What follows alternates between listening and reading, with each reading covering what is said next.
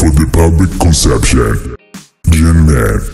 is here. Video hii unaoitazama hapa inaonyesha rappers wawili, mmoja ni Tiger pamoja na Travis Scott, na hapa wakizichapana wanapigana, kila mmoja akionyesha uwezo wake, na hii inamaanisha mpaka kufikia hatua ya kupigana kama hivi means kuna kitu ambacho kimeweza kupelekea kutokuwa sawa mpaka kuchukua maamuzi haya, na hii ni video ambayo inaonyesha baadhi ya watu wakiwa kama wanashangazwa na tukio la mastaa hawa kubwa ulimwenguni kupigana, huku baadhi ya watu wakijaribu kama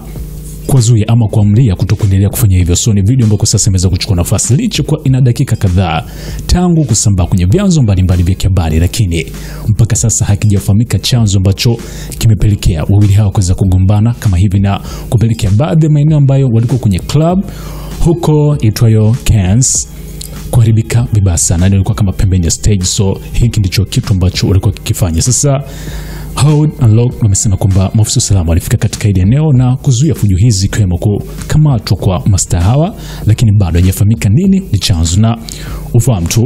rapa Tiger alikuwa mtu wa mwanzo kwenye watu maarufu kudate na Kylie Jenner miaka zamani, mwaka 2014 Kylie Jenner ikiwa na umri miaka 17 huko Bethlehem, Tiger umri wa miaka 24, so walikuwa kwenye mahusiano ya muda kidogo, lakini wakaja kuachana. And Travis Scott licha kuwa kwa sasa si mpenzi wa Kylie Jenner, alifuatia na kufanikisha kumzalisha watoto wawili Kylie Jenner, Stormy pamoja na Arie. Stormy mwenye umri wa miaka sita na Ariel ambaye kwa sasa ana umri wa miaka miwili so